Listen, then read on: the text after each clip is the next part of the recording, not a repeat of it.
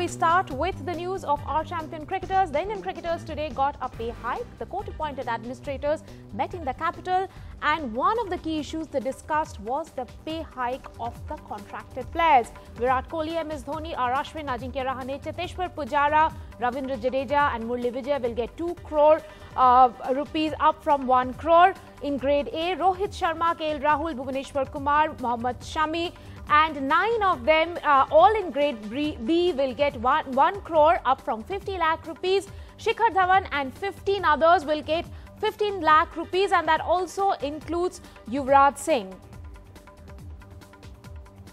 Well, I'm joined by my colleague Yash Chopra. Yash Chawla, in fact, it seems there will be a huge hike in the salary of the Indian team. Was there a feeling of rejection among non-IPL players like Cheteshwar Pujara who would have given the administrators some feedback?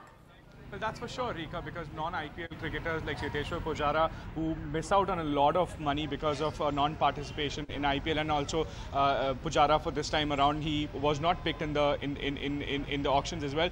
But you know, if, if you look at the salary structure right now, the first uh, the Grade One cricketers earlier used to get one crore, now they're going to get two crore, so it's almost a hundred. It's it's a hundred percent pay hike. Right. Yes, there has been a dispute over pay of Indian uh, cricket team support staff as well. In fact, uh, there's a wide gulf between what Anil Kumble gets paid and what the others get.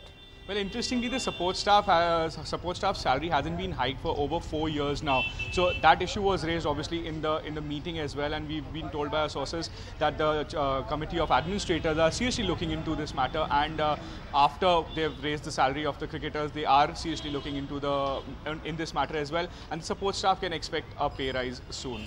Uh, well, Yash, the other issue today that was discussed was about HPCA writing to the administrators regarding lack of funds to stage the final test. They have already contested their claim in the Supreme Court and Supreme Court asked them to go back and sort it out with the administrators. Will the fans have have to keep waiting and will they be on tenterhooks till the last moment?